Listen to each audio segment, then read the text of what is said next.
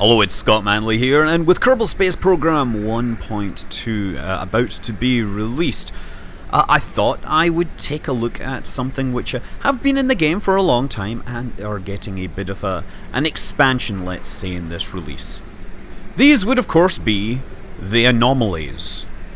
So one of the things that the new Kerbal Space Program has is colliders for all these anomalies so we can crash our planes into things and completely break them.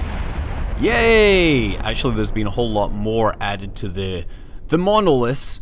The more, well, whole lot more anomalies added to the game, and apparently we've also had some new wheel physics, which appears to be working marvelously on this little thing. A perpetual motion machine, it would appear. Still going, in fact, going faster. And still it spins. Jeb, wake up! You're in the dream world! Werner is mad at me. He says that in this space program we respect the laws of thermodynamics. So the official patch notes for Kerbal Space Program 1.2 said that they have added hidden fun stuff to almost every planet, so I had to go out and using the new KerbNet feature, find some of these. However, being a very busy person with uh, cheating skills, I just do it the easy way. We basically open up the debug menu using Alt F12 on PC, and I'll set the thing in orbit around one of the bodies. So for example, Dres, you can bring up the KerbNet, using the right click button and then adjust your field of view. It's also good to set the refresh cycle to be regular so that you get updates regularly. And then narrow the field of view to capture the whole body and now just time accelerate around it. Now, there is a little niggle here in that the largest probe body only has a 30% chance of discovering any anomaly. So if they're there, you might not actually see them. You might need to switch to various other planets, but look, we found one here. Setting the waypoint, and then we can actually see it on the world map. That waypoint is shared between all of your spacecraft, so then you can either fly a spacecraft out manually, or cheat one out there. I, of course, having not very much time, decided to use the cheating route. At least I didn't use infinite fuel. So, We've modified the two-stage lander to add the 2.5 meter probe because only probes have KerbNet access. Even if you have a full crew of scientists, it is all for naught if you do not have a probe body, and furthermore, you need a connection back to base. So in this case, while I have a dinky little antenna on top of this, I have a satellite in orbit which is relaying all the data back.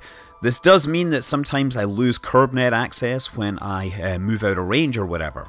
Incidentally, the game re-rolls the anomaly discovery chances whenever a an SOI sphere of influence change happens. So if you don't find something, you can just switch to another probe in another SOI and then come back and just keep iterating on that until you actually get it. Simply saving and reloading does not work, and the discovered objects aren't preserved over uh, a restart of the game.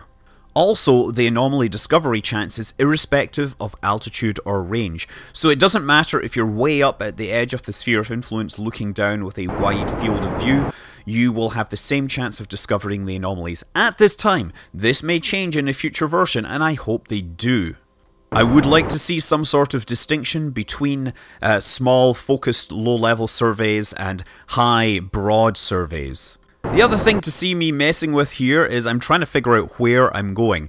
And the problem is that when you place a waypoint, it's kind of of dubious accuracy. It's rarely going to be exactly on top, especially if you've placed your waypoint from a very high altitude. So this is why I'm carrying the KerbNet thing with me so that I can actually refine my position as I'm going down. The orientation of the map will flip when your orbit changes direction, so it can be very confusing trying to target things using this. Instead, you'll create the waypoint and then have to go into the map and somehow figure out which one you just created. Uh, or you could just delete the last ones, but that's always something that you may not be wanting to do when you're falling towards the surface of a planet, caught in gravity's inexorable embrace. And you'll also notice here that I keep pointing the spacecraft downwards. Surely I wouldn't want to do that, except that when you create a navigation point, it only shows you one point. It doesn't show a reciprocal point. This is fine if you're using those navigation points to find stuff on planets with atmospheres where you can fly around like a plane. But if you're landing lunar module style, you're essentially reversing in towards the target, and you can't actually tell if you're on target or not. So I end up having to turn around and then refine things. You see, at this point, I've managed to actually lose the anomaly. It's almost at the edge of the map here because it's really kind of hard to figure out the navigation here. Granted, I pro will probably figure things out with a few more tries, but all the same, it does seem to be rather difficult. Anyway, at this point, the eagle-eyed among you should be able to spy the anomaly. This is on uh, Ike, which hasn't previously had a surface anomaly for a while, of course. It had the magic boulder, which was, of course, even harder to find than your regular anomalies because it wouldn't uh, it wouldn't stay still, so you couldn't just go to standard coordinates and find it. Anyway, I'm now moving in. Anyway, now you've seen me find it, I'm just gonna time accelerate down, bring it in, and you can see it's another monolith. Um, incidentally, if you've got ground scatter on, one way to recognize an anomaly versus ground scatter is that the anomalies will cast shadows, whereas ground scatter does not. And yes, um, uh oh, problem, get things straight up. Uh, that's what happens when you bounce in low gravity. You bounce so fast that the reciprocal, the retrograde uh, SAS option remains on. But here we go. Let's go and take a jump. Fly towards the the magnificent anomaly. Uh, yeah, so this is a monolith. They are all through the system. And I'm going to be honest, I have looked around, I've looked at several of the supposed hidden and fun surprises that were described in the patch notes. Every single new one that I have found has been a monolith. I mean, maybe monoliths are Squad's idea of fun. Uh, you know, maybe they have a complete collection of 2001 action figures, including the monolith in the original packaging, made of high quality black plastic in authentic 1 to 4 to 9 ratios and featuring zero points of articulation. The Monolith action figure is an essential addition to any sci fi action figure collection. Okay, uh, yeah. Anyway, one of the fun things, I guess, about Ike, incidentally, is that because it's tidally locked to uh, Duna and is on a slightly eccentric orbit, we can accelerate time from this point of view and observe the libration of Duna. Watch this, it's kind of cute. This thing. Now, while the whole of the sky, the planets, and everything else will move around as Ike rotates, if we look at Duna, it will kind of oscillate back and forth. And this is because the orbit of Ike is eccentric, when Ike is at periduna, it will appear in this case to move towards the right as it were moving faster. Then we're at apoduna and it appears to move to the left in this case. Magnificent! Anyway, embracing the power of the cheat menu, I uh, bring an entire aircraft out to Laythe. Laythe, of course, has another point of interest, and from this distance I can already see its black boxy monolithness is standing proud among the shores of Laythe. And I'm sure that did something to mess up my landing approach. Quick! Bail out! No! Ah! That was Jebediah! Jebediah, no! Bill manages to escape, however. Oh wow, watch the wreckage falling after us.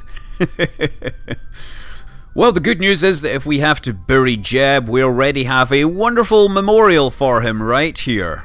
Of course, because this planet has oxygen, it probably has life, which means his body will probably rot, unlike most Kerbals, whose bodies will be uh, preserved forever in the vacuum of space.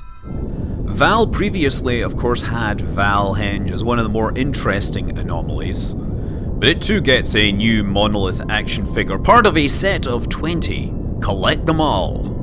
The developers, of course, did have a sense of humour. They put it on a super, super steep slope, and even in the low gravity of Val, your uh, capsules are probably going to end up sliding down the hill.